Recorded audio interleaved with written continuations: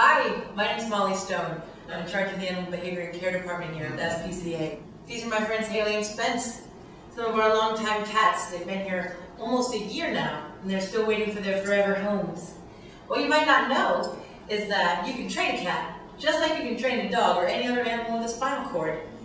And if you take one of our cats home and you have some behavioral trouble with them after your adoption, you can always call the SPCA's behavior team and we are here to help you. Um, we can do home visits to support you, help modify cat behavior problems, including aggression toward other cats, aggression toward people, um, clawing your furniture, or litter box issues, whatever, whatever might be happening. If you choose to adopt one of the longtime cats here at the SPCA, we're going to waive the adoption fee completely. So that means at no cost to you, you get the spay neuter surgery, a microchip to identify your friend, um, all age-appropriate vaccines, some flea and tick preventative, plus the behavior support um, for, for after the adoption.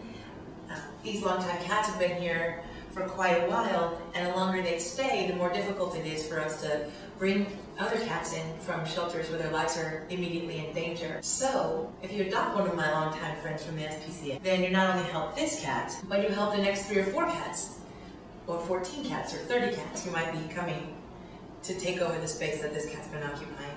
So it's really a it's really a trickle down act of kindness that has a big effect on a lot of lives, doesn't it, Spence? He agrees.